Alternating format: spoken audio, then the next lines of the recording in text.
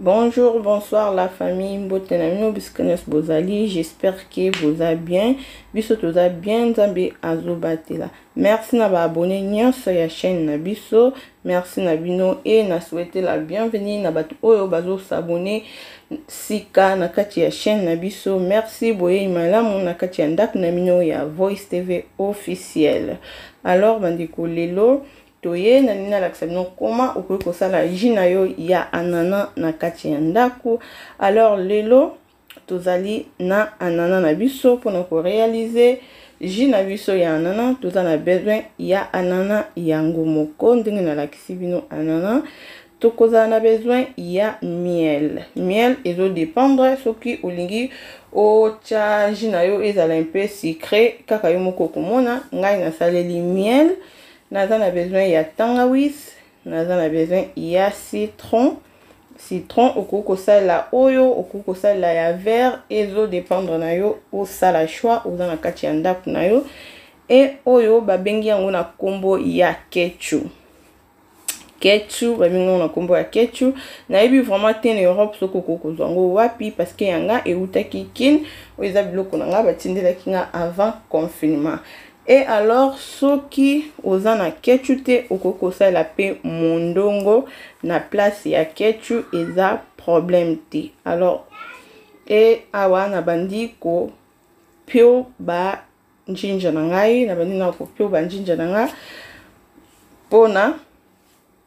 koleka na etape mosusu donc nazolongola yango baposo e awa nabandi kobongisa anana na ngai nazolongola yango baposo na sote baetape mosusu mpona naboyi video ezala uh, too long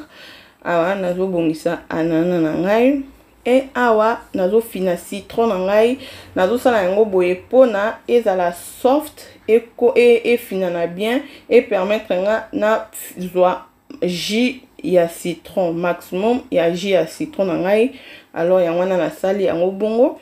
e awa na récupérer juste jus na ngai ya citron awa nakomi na etape oyo nalingi nanika ketchu na ngai ndenge nalobaki soki oza na ketchu te okoki kosalela mondongo alors awa nazonika ketchu na nga bandeko il faut kosasire ke enikami vraiment très bien enikama très bien bomoni yango ekomi vraiment poussière donc ata mbuma moko eza lisusu te alors awa nazopresente bino biloko na nga pour la deuxième fois oyo eza ketchu na ngai oyo touti konika oyo bomonaki toniki ekomi vraiment poussière e toza na miel na biso oyo eza gingembre na biso tolongoli baposo e tokati yango oyo ezali anana na biso tolongolaki baposo tokati yango oyo eza jus ya citron na biso oyo torekiperaki e alors awa bandeko tokomi na etape oyo tolingi tomixe biloko na biso gingembre na nga après avoir kolongola yango baposo nasokolaki yango na kati yango e awa nakomi na etape oyo nazotya yango na kati ya mixeur na nga nabandi nanu kotya gingembre na nga e awa nabakisi anana na nga sala na quantité nyonso oyo yo olingi quantité oyo osepeli na yango okosala 2 anana okosala 3 4 ezo dépendre na yo e awa natye mai na ngai ça dépend aussi soki olingi ezala vraiment concentré makasi kotya yango mai te otiki yango bongo me ngai nalingi ezala un peu léger nalingi te ezala too strong that's why nabakisi verre moko na ndambu ya mayi donc ezo dependre na yo oza na kati ya ndako na yo sala oyo ekosepelisa yo sala eloko oyo eko test nice na monoko mpo na yo donc nga nalingi eza too strong te yango wana natie mai na nga mpona esala yango ezala un peu léger mais soki olingi ezala uh, strong otiki yango bongo kotya yango mai te e nazomixe biloko na ngai nyonso oyo natie mai gingembre na anana na ngai donc nasaleli awa eza kaka mai gingembre na anana oyo nazonika donc naniki yango ndenge bomoni wana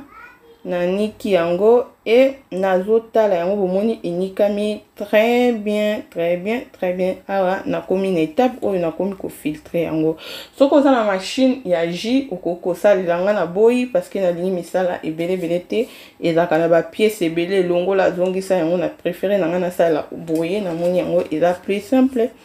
et awa nazo filtre yango bandeko nalati gant na ngai nalati gant na ngai parce que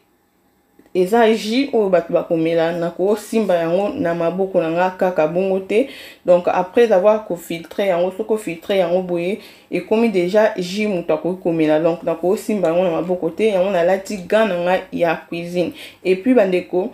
gant nyonso te eza ke okoki kosalela yango ya biloko ya kolia ntango ozopona gant na yo mpona kosalela biloko ya kolia mpona gant oyo ezali approprie mpona kosalela yango na cuisine mpona biloko ya kolia alors oyo eza gant na nga oyo ezali suitable na kitchen yango nazosalela mpona naboyi kosimba jus oyo bato bakomela nasimba yango na maboko na banda kofinafina yango na maboko eza vraiment hygiénique te yango wana nalati ga na nga mais tout d'abord avant nalata ga na nga avant nakota na cuisine na nga nabanda kosimba biloko ya kolia nasokolaka toujours maboko na nga très important wana nasilisaki kofiltre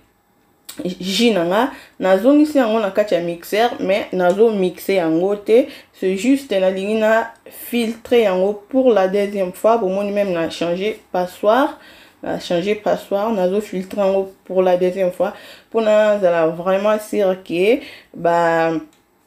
ba bamisisa ya makasi eleki te ekoma vraiment pure ekoma vraiment très bien ntango ozomela yango eza normal na monoko bomoni donc euh, nasaleli na filtre yango deux fois mpona vraiment nazala sur ke e longwe ba misisa nyonso e alors en étape oyo tokomi tolingi tobakisa ba reste ya biloko na biso oyo tolakisaki bino e alors tobandi tozwi jus na biso ya citron oyo torekiperaki na citron totie tomixe yango tobaloli yango tobaloli yango tobaloli esangana bien et tozwi miel na biso totie miel tya ndenge okolinga soki olingi vraiment ezala sucre makasi otali kaka obakisi ngai nalingi ezala juste normal yango natie boye soki mpe olingi na yo te okoki mpe kotika yango bongo otie na yo miel te ou tout comme mpe soki olingi miel te okoki kosalela okosalela okosalela oyo euh, oh jésus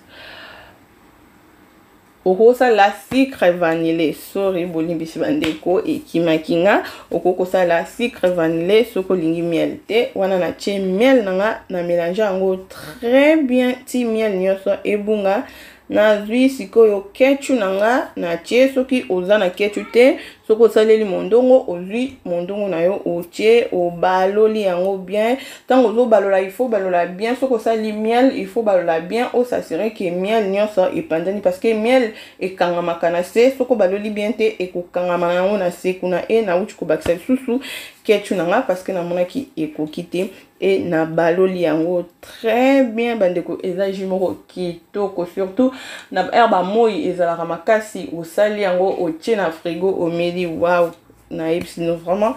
eza kitoko bomeka yango na bandako bomeka yango bamama bomeka yango bapapa bomeka yango bokozala desi te eza vraiment vraiment vraiment vraiment kitoko e nasilisi mélange ya ji na nga awa nazotya yango na kati ya molangi na nga molangi na nga nasukolaki yango très bien na mai ya moto eza bamilangi na nga oyo nasalaka bajus na nga so nasali jus na nga naturel natyaka yango na kati ya bamilangi oyo epuis na garde yango na frigo merci beaucoup bandeko na ndenge bozwi temps na bino ya kotala video na biso tika ete nzambe na lola ayeba na kopambola bino merci merci merci na bino bandeko basuggestion na bino toza na yango besoin partage commente aime ekosala biso bien tokutana mbala ya nsima bye